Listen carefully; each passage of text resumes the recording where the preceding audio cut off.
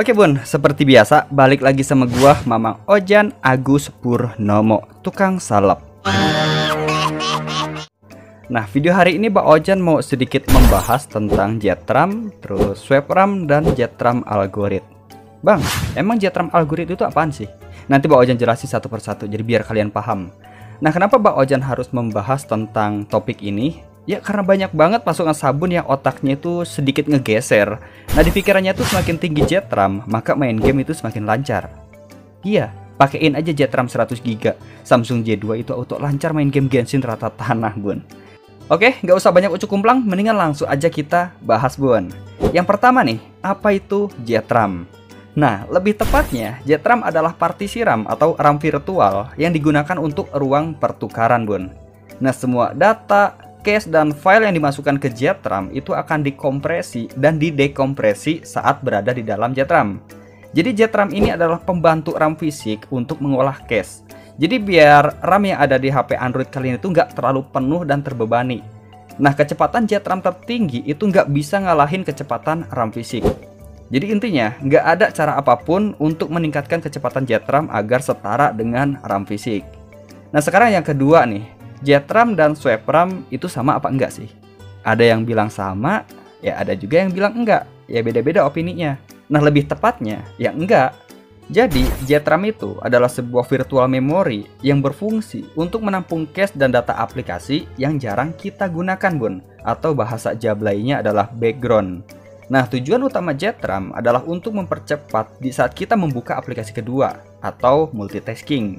Nah, sedangkan untuk swap RAM sendiri itu fungsinya untuk membantu RAM di saat RAM di HP Android kalian itu kepenuhan. Nah, misalkan nih HP Android kalian itu lagi bermain game dan uh, RAM di HP Androidnya itu udah mepet atau hampir penuh. Nah, di situlah peran swap RAM itu berjalan. Jadi dia akan menampung semua cache dan data yang sudah tidak bisa diakses oleh RAM fisik. Oke, sampai sini sudah pada paham ya? Nah, dari kedua jenis virtual memory ini ada kekurangan dan ada kelebihannya masing-masing bun. Ya sama aja kayak si doi, ada kurangnya ya ada juga lebihnya. Ambil lebihnya, buang kurangnya.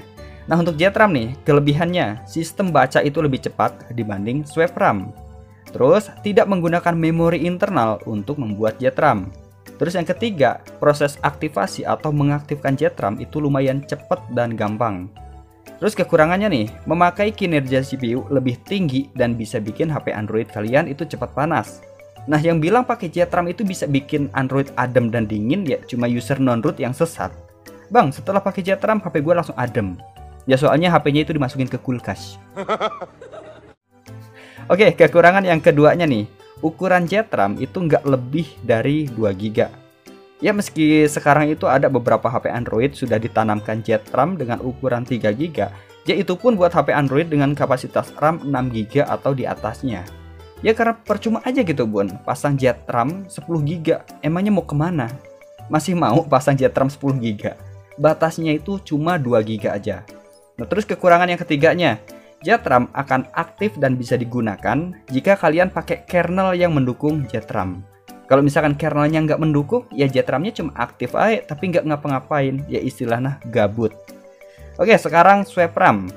Nah, kelebihan swap RAM adalah kita bisa menentukan berapapun ukuran yang ingin kita aktifkan. Mau 2 GB, mau 4 GB, atau 6 GB, ya tergantung kartu SD yang kalian gunakan lah. Terus kelebihan yang keduanya, tidak bikin HP Android kalian panas. Nah ini kebalikan dari JetRAM ya. Kalau misalkan JetRAM kan itu bisa bikin HP Android cepat panas. Nah sedangkan SwapRAM enggak.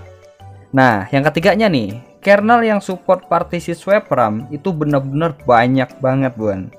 Nah terus kekurangannya nih, membutuhkan ruang penyimpanan untuk membuat swap file. Ya contohnya SD card kelas 10 dengan ukuran minimal 16 GB. Terus kekurangan yang keduanya, proses pembuatan swap file itu lama dan ribet. Jadi semakin tinggi ukuran swap filenya, maka semakin lama juga prosesnya. Terus kekurangan yang ketiganya adalah memori lebih lambat dibanding JetRAM. Jadi untuk masalah kecepatan itu JetRAM yang unggul, tapi untuk masalah adem dan ukuran itu SwapRAM yang unggul. Nah, menurut kalian mana nih yang lebih worth it? Oke, yang terakhir adalah algorit atau kecepatan baca virtual memory bun. Nah, algorit di RAM virtual itu sebenarnya banyak banget, Buan. Tapi ya hanya beberapa aja yang sering digunakan. Ya ini sih sama aja seperti CPU governor ya. Nah, algorit di RAM virtual yang sering digunakan itu mulai dari LZO, terus LZF, LZ4, Snappy, Quick, Zlip, dan yang terakhir adalah ZSTD. Nah, JetRAM kalian itu pakai yang mana nih? Bang, gimana nih cara ceknya? Nah, untuk cara cek uh, JetRAM algorit, kalian bisa menggunakan aplikasi Root Explorer atau MT Manager. Nah, kemudian kalian masuk ke directory root. Nah, selanjutnya akses jalur sys slice block slice JetRAM kosong slice com strip algorit. Nah, cukup kalian klik aja satu kali uh, file yang bernama com algoritnya, kemudian uh, pilih aja text viewer. Nanti kalian bakalan melihat beberapa algorit yang tersedia.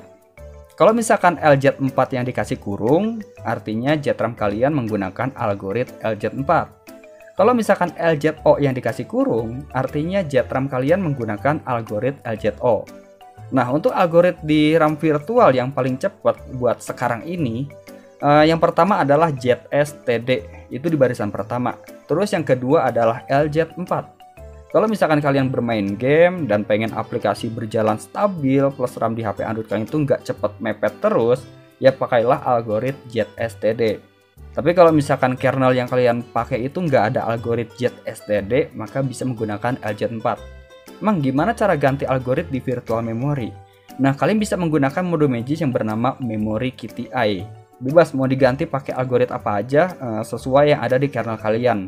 Pokoknya tinggal pasang dan kalian bisa edit tuh uh, JetRAM algoritnya. Nah videonya sudah Bawa Ojan tempel di deskripsi. Oke kayaknya cukup sekian Bawa Ojan membahas tentang uh, perbedaan antara swap RAM dan JetRAM, terus uh, algoritnya dan ya udah lengkap lah. Tapi kalau misalkan masih ada pertanyaan, monggo coret-coret aja di kolom komentar Buan. Bawa Ojan harus pamit, lagi masak mie. Sampai ketemu di video selanjutnya. Thank you Buan.